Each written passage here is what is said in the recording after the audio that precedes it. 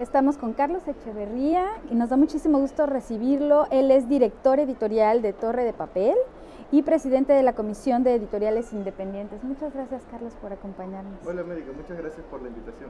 Bueno, me gustaría primero que nos contaras eh, cómo ves el ambiente de feria, este regreso, los stands, los eventos. Cuéntanos un poquito de tu experiencia.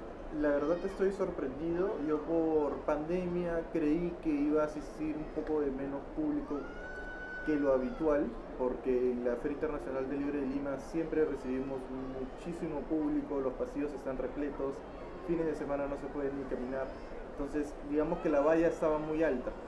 Y aún así, a pesar de la pandemia, eh, hemos visto una gran cantidad de gente, los expositores me parece están contentos, hay venta, hay eventos, eh, los lectores nuevamente tienen la oportunidad de reencontrarse con los autores, de asistir a las presentaciones de libros, a los conversatorios.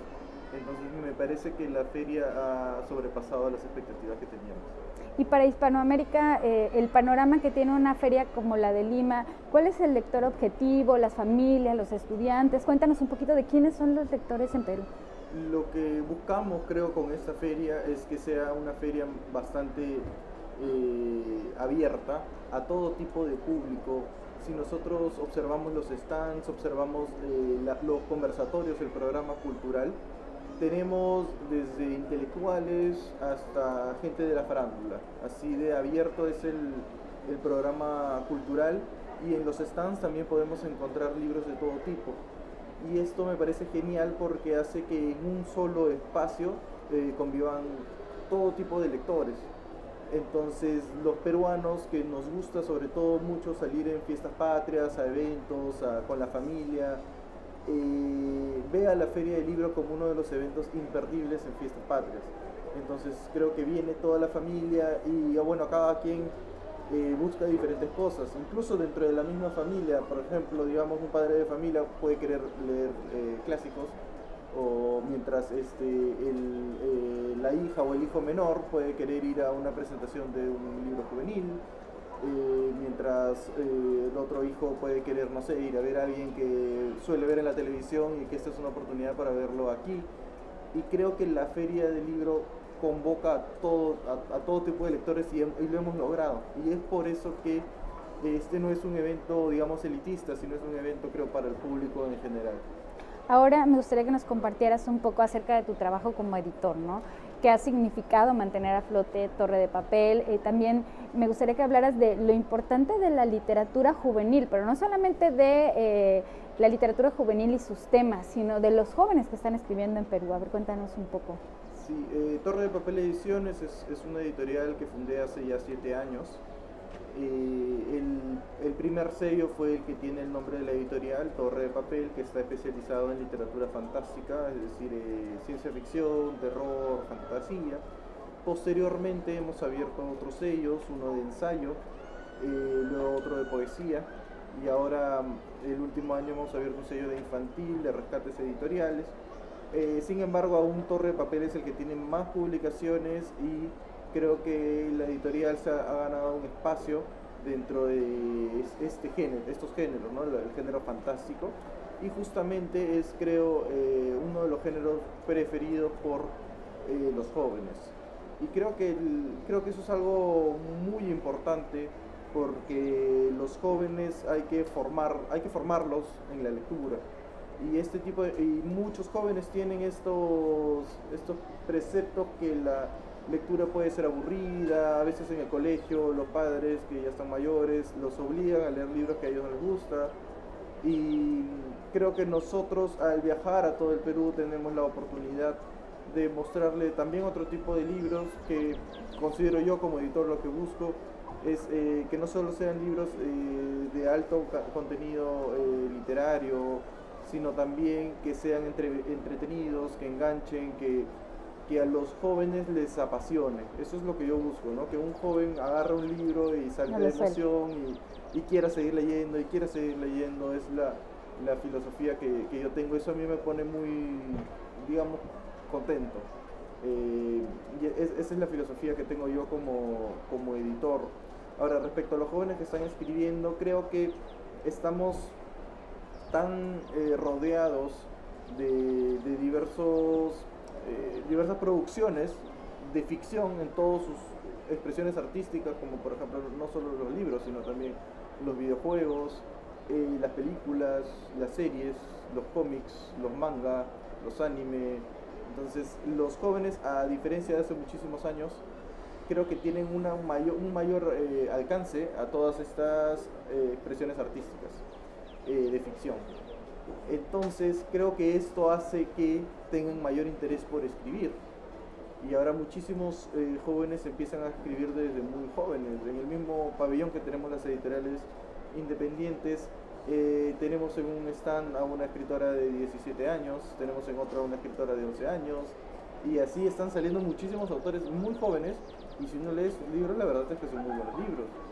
Y, es, es, un fenómeno que antes no sucedía. Creo también que el, Internet, los medios para publicar eh, textos desde muy jóvenes, como por ejemplo Wattpad, ayuda a estimular a que los jóvenes escriban desde muy pequeños y es algo que está sucediendo.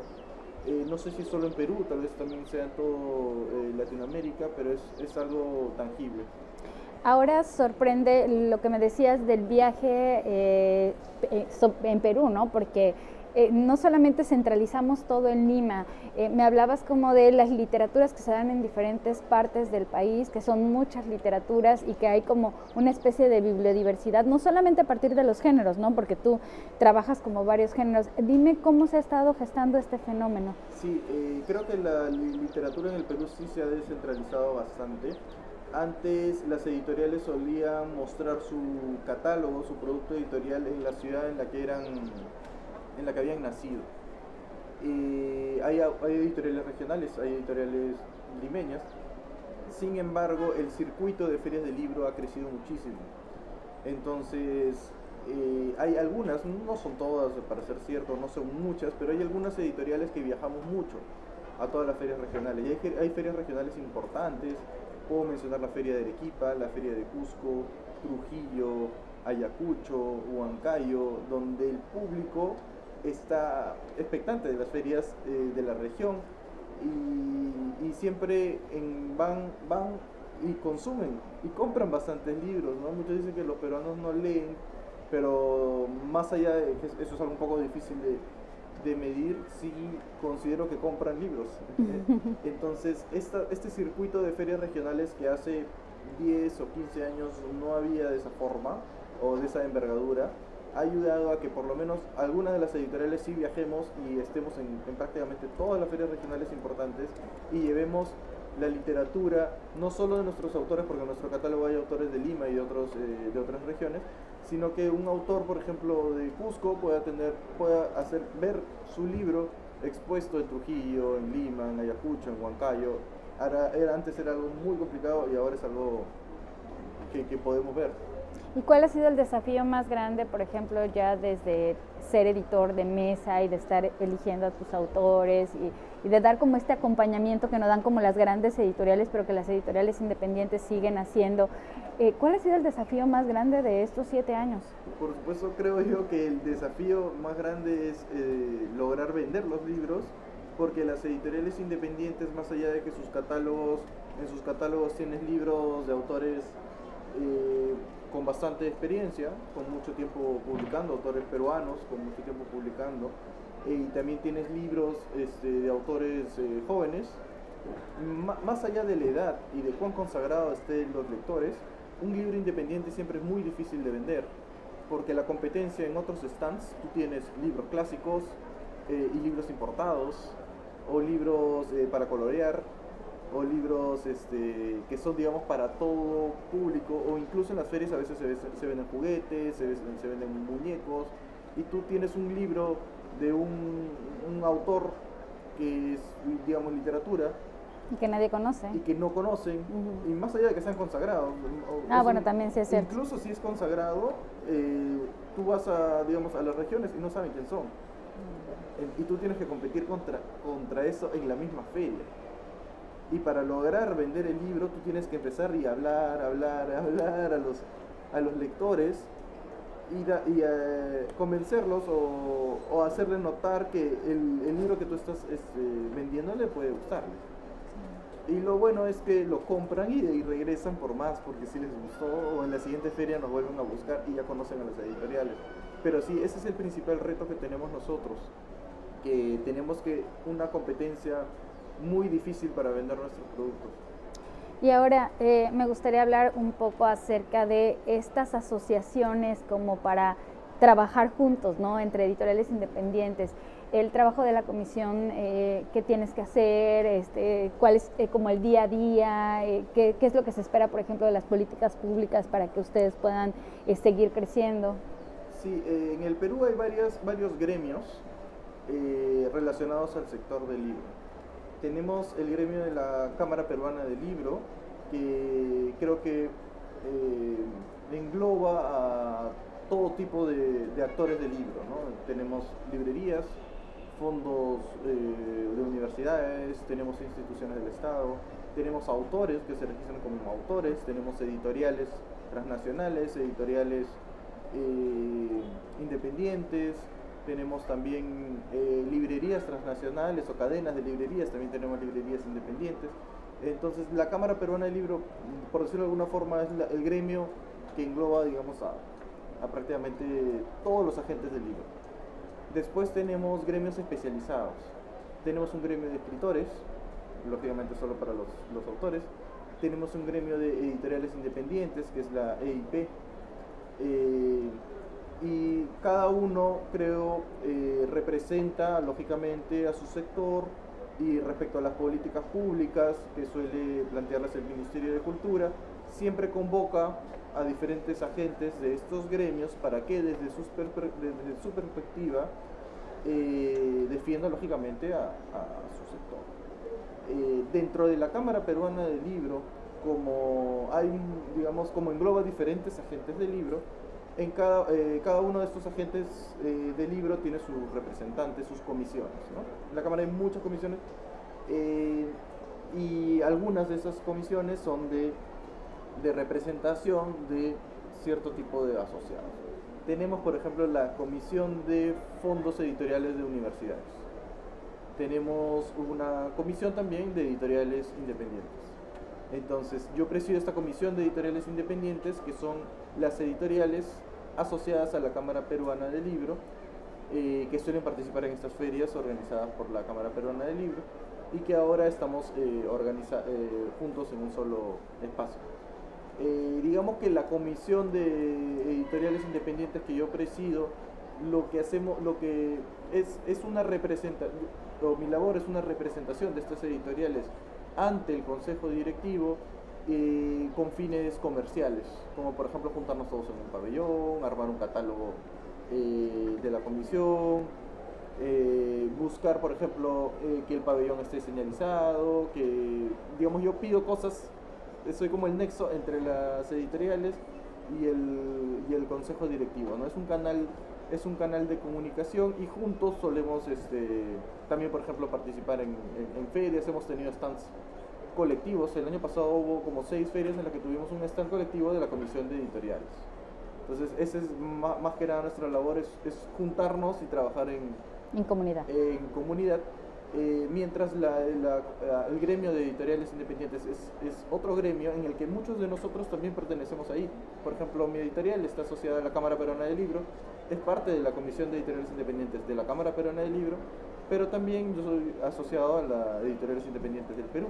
Y creo que son cosas, son, buscan diferentes este, objetivos. ¿no? La EIP se ha centrado mucho y lo ha hecho muy bien en, en, este, lo político, y, en lo, y también está, trabaja en alianza con el Ministerio de Cultura, entonces organizan la feria, por ejemplo, La Independiente, eh, también tienen este stand colectivo aquí de La Independiente, que es, que es un stand que engloba a muchísimas editoriales que no tienen la oportunidad de tener un stand propio en, la, en, la, en, la, en esta feria, pero sí pueden tener sus libros ahí. Entonces, este, son, digamos, gremios separados, pero los miembros de cada gremio estamos en realidad en, en, en contacto. Estamos ¿no? en contacto, somos los, muchos, casi todos los, los asociados de, la, de mi comisión son también parte de la EIP, ¿no? No, es, no hay una rivalidad, no es una cuestión de, de que choquemos, ¿no? Son, son cosas diferentes. Y ahora para terminar me gustaría que hablaras de tus tres libros emblemáticos de Torre de Papel, por favor. Sí, eh, uno de los libros eh, que, más eh, éxito ha tenido creo que ha sido la saga de Pandemia Z de Paul Narmedo. Es uno de los libros más vendidos, tanto el, primer libro que salió de esta saga, que fue en el 2019, se vendió muchísimo. Él es un autor peruano, ¿verdad? Él es un autor peruano. y en esta feria ya hemos traído el segundo libro de la saga y se vende muchísimo. Esta es una saga de zombies ambientada en diferentes ciudades. Cada libro está ambientado en una ciudad diferente del Perú. Y la verdad es que ha tenido muchísimo, muchísimo éxito, estoy muy contento por ello. Después también yendo por el camino de la literatura fantástica, tengo una trilogía de antologías que bajo el lente de nuestro antologador que, elegimos para que lleve a cabo estas antologías, que es Carlos Enrique Saldívar, él eh, compiló a 20 autores eh, nacionales de terror que están englobados en el libro Tenebra, de 20 autores eh, nacionales de ciencia ficción, de el Constelación y 20 autores de fantásticos, están en el Vislumbra. Entonces es nuestra trilogía de, antologías fantásticas, que es lo que, digamos, consideramos que son los autores más representativos de cada uno de estos, de estos géneros. Después acabamos de sacar un libro, un, este, un sello de realismo que es Redoble Perpetuo y el primer libro de este sello es eh, En el AMPA, que es un libro de, que relata la historia de un joven que ingresa desde muy pequeño, lo captan, siendo escolar, lo captan eh, eh, una banda criminal en el Perú, una mafia, y él empieza a ascender en esa banda criminal. Es un libro muy entretenido, acaba de salir para esta feria y creo yo que va a tener va a ser un libro exitoso. Entonces, esos son ahorita los, libros que están dando, eh, digamos, eh, la competencia aquí en el, en el stand de Torre de Papel. Pues Carlos, muchísimas gracias por esta conversación. Gracias a la Cámara Peruana del Libro, a la Feria Internacional del Libro de Lima y, bueno, de parte de Publishers Weekly, gracias a quienes siguieron esta transmisión.